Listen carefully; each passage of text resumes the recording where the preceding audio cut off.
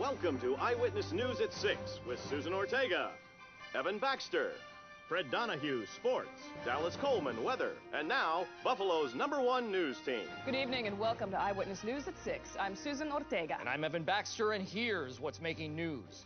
A potential scandal with the Buffalo PD surfaced today when the mayor demanded that. when the mayor demanded that the chief. When the mayor demanded that the chief of Sorry, I to have something stuck in my. Somebody get him some water, please. Yeah, it looks like my new co-anchor may need a glass of water.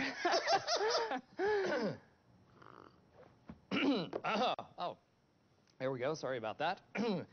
In other news, the Prime Minister of Sweden visited Washington today, and my tiny little nipples went to France. What did he just say? Check the prompter. Problem just fine. Evan, read the copy, please. The copy's good. Just read it.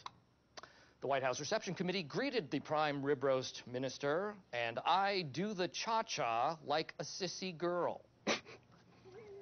I like a do the cha cha.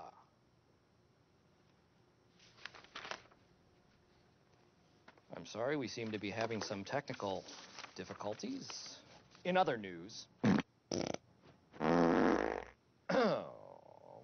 apologies.